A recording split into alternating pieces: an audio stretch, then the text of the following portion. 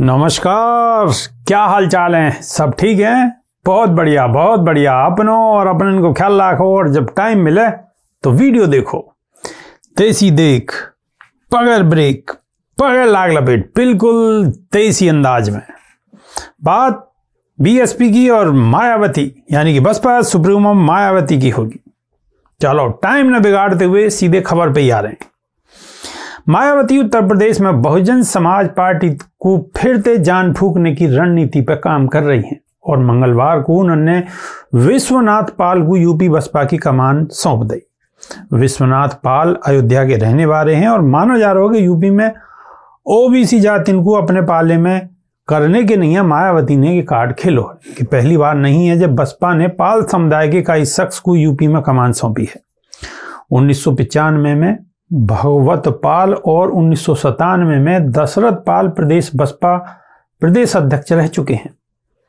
अब दो दशक बाद फिर बसपा सुप्रीमो मायावती ने वही दाव चलो है।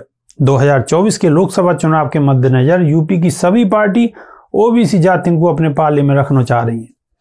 बीजेपी को फोकस, जहाँ गैर यादव ओबीसी पर है, वहीं अखिलेश यादव की सपा की नज़र ओबीसी जाति पर लगी हुई है।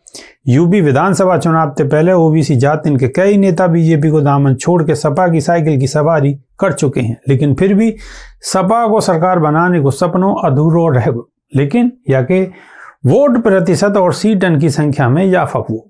एक अनुमान के मुताबिक मायावती के साथ अभी भी दलित वोटर लगातार बने हुए हैं। लिहाजा सियासी विषाद पर मायावती ने ओबीसी नेता को दाब चलो है। अगर मुस्लिम, ओबीसी और दलित वोटन को मायावती अपने हिस्सा में लाने में सफल है गई तो यूपी की राजनीति में स्थिति बदल सके हैं। निगाह चुनाव से पहले मायावती की यह चाल को नए एक्सपेरिमेंट के तौर पर देखो जा रहा है। अगर ये कामयाब रहो तो 2024 के लोकसभा चुनाव में मायावती, ओबीसी नेतांत को फ्रंट फुट पर रखकर खेलेंगी। विश्वनाथ पाल को यूपी बसपा को कामकाज देके मायावती ने दोहरो दाब चलो है।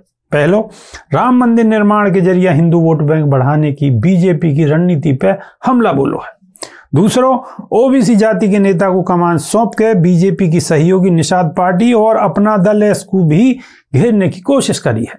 साथ ही साथ, सपा को भी चुनौती देने की कोशिश करी है।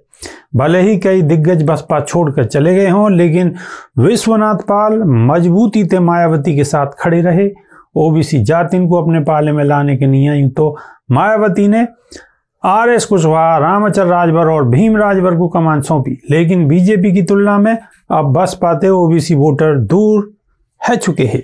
विधानसभा चुनाव में बसपा को खराब प्रदर्शन कायदे छुपो नहीं है। विश्वनाथ पाल बसपा के लिए क्या रणनीति बना में या कोई फैसला तो निकाय चुनाव में है जागो। और देखना होगा कि मायावती को दाव लोकसभा चुनाव में कितनों कारगर साबित होगा। ये तो सब पता पड़ जाएगी कितनों कारगर साबित हो।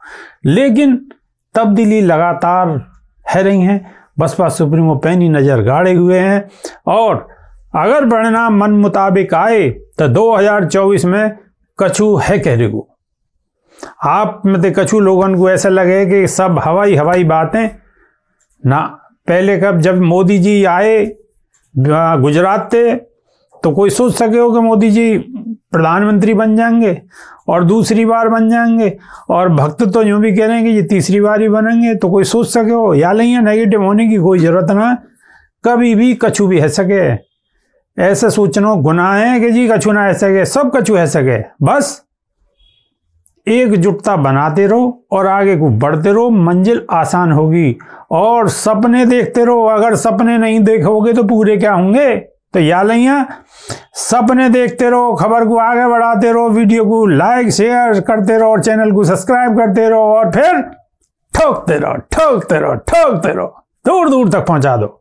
और नई वीडियो में बहुत जल्दी फिर दोबारा मुलाकात होगी, जब तक के नहीं यहाँ देसी देख पिगर ब्रेक, पगल लाग लपेट। बिल्कुल देसी अंदाज में। बहुत बहुत धन्यवाद। नमस्कार।